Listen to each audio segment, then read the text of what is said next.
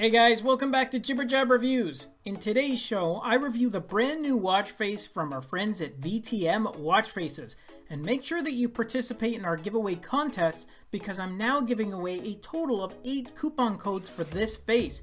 I'm going to be randomly selecting 4 winners here and another 4 winners on the Watch Face community website.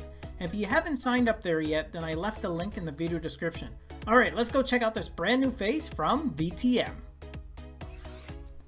Okay guys, the first thing you're going to notice about this face is that it is a hybrid version, meaning that digital time is present here and it's actually located on the right hand side of the face and you can also choose to have this displayed in a 12 or 24 hour format.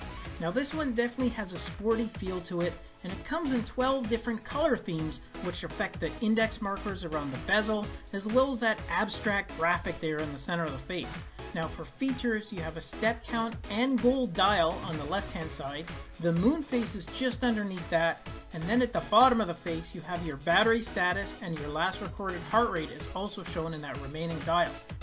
The date is located on the right hand side of the face, and then you have tap access to a total of 7 different app shortcuts, with 4 being fixed to your weather, your S health, heart rate, and alarm, and the other 3 shortcuts are all customizable, so you can choose any app that's already loaded on your watch, and then you can set it to one of those assigned locations on the face.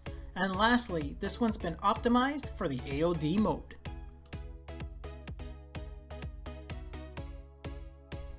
And if you want more information on the watch face that I reviewed today, then simply do a search in the Galaxy App Store under the name of this face, and I've also included the direct link in the video description. And I'm also going to be giving away coupon codes to random viewers that comment here, as well as coupons to random registered users on the watch face community website, mygalaxywatch.com.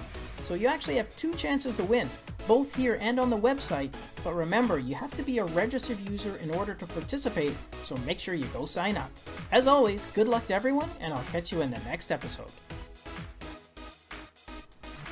Thanks again for watching our review, and if you liked it, then show us some love with a thumbs up, subscribe to the channel, and share the video with your friends, because with your support, it really helps me keep the channel going, so I can continue to offer you guys discounts, giveaways, and of course, fresh content. I'll see you in the next episode. Until then, take care.